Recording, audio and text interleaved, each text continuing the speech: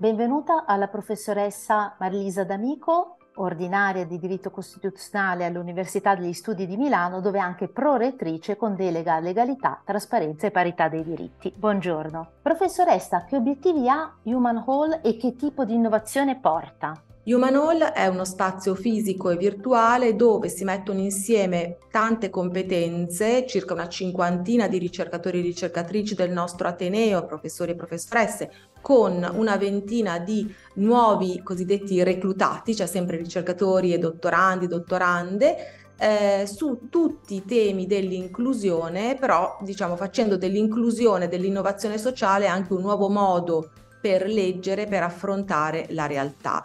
E naturalmente tutto questo è nell'ambito del PNRR che ha fra le linee più importanti quella dell'inclusione, della parità di genere, eh, dedica molto spazio eh, a questo aspetto e eh, noi abbiamo un progetto che si chiama Musa, al cui interno abbiamo sviluppato questo hub di innovazione e di inclusione sociale e in questo progetto Musa quattro università, statale, Bicocca, Bocconi e Politecnico, lavorano insieme.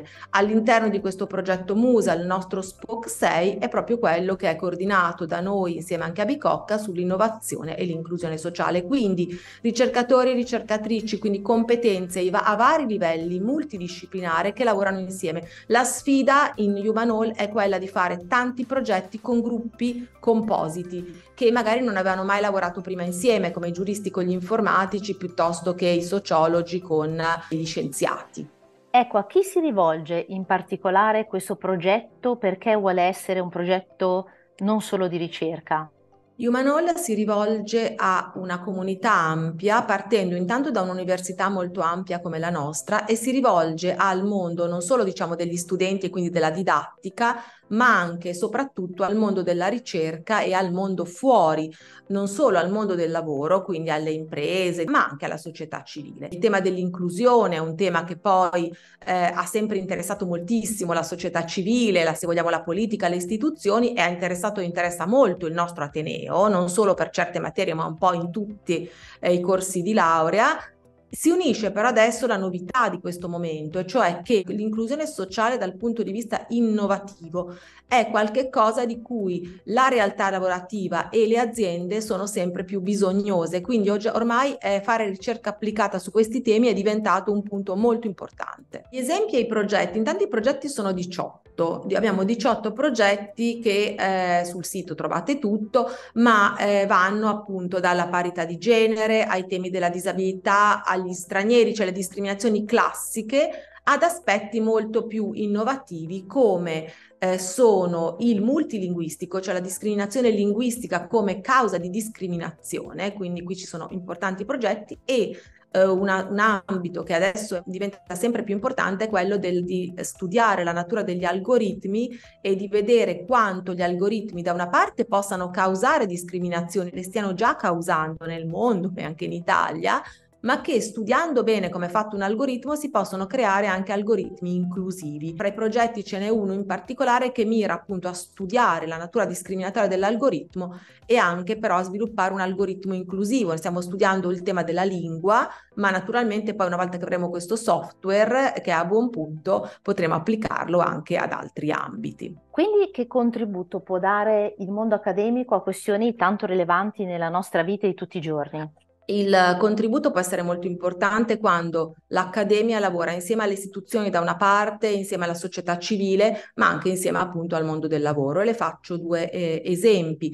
Eh, il primo abbiamo già realizzato un ciclo di eh, lezioni che ci ha chiesto il Comune di Milano. Noi abbiamo realizzato nello spazio del Comune della Casa delle Donne, che è bellissimo, eh, un ciclo di lezioni chieste, perché servono molto alla cittadinanza, sulla cosiddetta discriminazione intersezionale, cioè eh, quella forma nuova di studiare le discriminazioni, per cui quando una, eh, un soggetto, un gruppo che è già discriminato, i casi più, più, più ovvi sono quelli delle donne, A questo gruppo, cioè una donna, si aggiunge anche una disabilità, piuttosto che il fatto di essere straniera, piuttosto che un problema anche di età o anche di religione. La discriminazione diventa doppia, tripla e lì bisogna intervenire e ci sono anche vari modi che si stanno studiando insieme.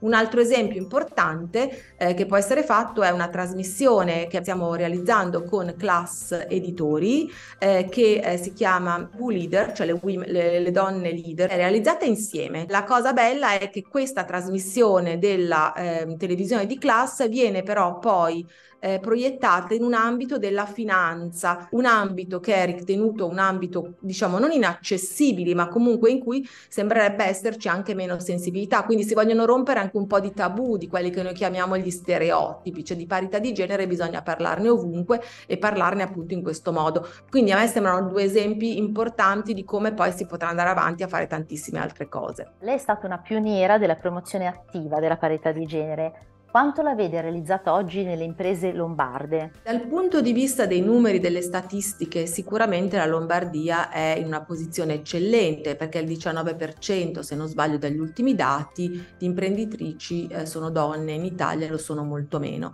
Però i dati ci dicono poco perché ce ne sono degli altri che sono invece molto in controtendenza. Per esempio, anche in Lombardia in pandemia hanno sofferto molto più le donne degli uomini. Voi sapete che il 99% dei lavoratori che si sono licenziati appunto erano donne nel primo anno della pandemia. E perché? Perché anche in Lombardia, esattamente come in Italia, le donne non riescono diciamo a conciliare oltre un certo limite proprio perché noi abbiamo un welfare che non è sufficiente, nonostante qui sia migliore, ma non è comunque sufficiente. Anche in una città come quella di Milano ci sono comunque sperequazioni molto forti eh, a livello anche di gender gap eh, e anche in una città come Milano e eh, in un ambiente professionale come quello dell'avvocatura noi vediamo che ci sono pochissime donne titolari di studio e che le donne guadagnano nettamente meno, addirittura c'erano dei dati eh, qualche anno fa, non so se siano migliorati, ma non credo che poi siano diciamo, migliorati decisamente, le donne guadagnano il 68% in meno